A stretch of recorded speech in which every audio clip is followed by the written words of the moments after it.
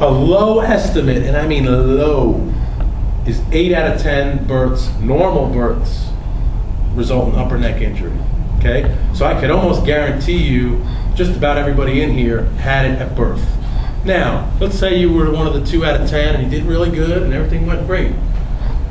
It's estimated there's about 4,000 falls by the time we're three. Okay? So all the bumps, all the falls, all the different things, bouncing into the couch head first a thousand times before lunch. You know, that's a day, that's one day for a, for a kid. So I mean, I can almost guarantee you that's Talking about zero.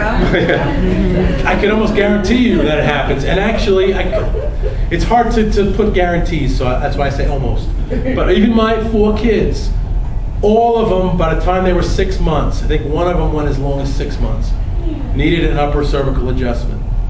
Okay? That's six months. That's my kids, knowing what I know. I couldn't prevent that. How do you prevent it? You don't put a brace on them and don't let them move. I mean, they're going to live. So, so what do you do? You check them. So just put that in perspective about yourselves in this room. Obviously, everybody here is more than six months. But not only that, what about grandkids? What about your kids? Right? We start to think about these things. It's very possible that there could be trouble here that nobody's looking for. Okay? If, if a doctor is not trained to look for it, then don't expect them to diagnose that and correct that. They're just not going to. They're going to do what they do. Just like I only do this. I'm not going to do, I'm not going to step on doctors' toes and try to do their job. I'm going to do what I do, and that's it.